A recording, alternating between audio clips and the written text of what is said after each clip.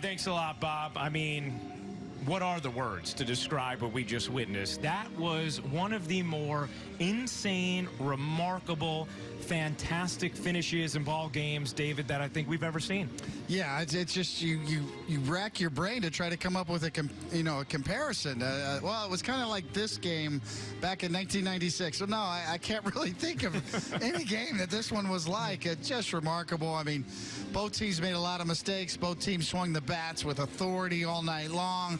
Yankees relievers a lot of walks the last two innings. Looked like they were going to cough it up, and then just got enough to get the last out. Chad Green in relief after Chapman, after Ottavino, needed Aaron Hicks to lay out on the warning track to end this game.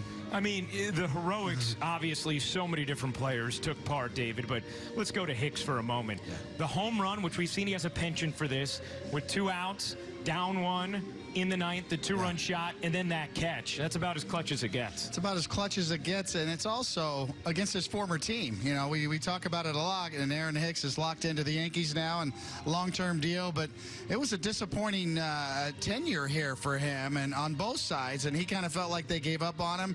They felt like he didn't match his potential, and for him to have a night like this against his old team and to end it that way, that's that's a big night for Aaron Hicks. Huge night for Didi Gregorius as well. David David, we talked about it. Aaron Boone said, look, he wasn't happy sitting the first game of this series.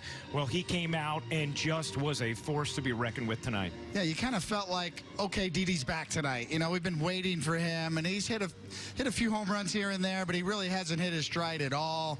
And then you kind of start to wonder, you know, hey, he needs more time to get his rhythm. Well, he got it back in one night. He had a week in one night tonight in terms of his production and overall numbers. Seven ribbies on the night. Didi's back. I know this is a night Didi will never forget, we'll never forget, and you guys will never forget. Just an incredibly wild, fantastic finish to a 14-12 game here in Minneapolis as we send it back to you guys in the studio. Thanks.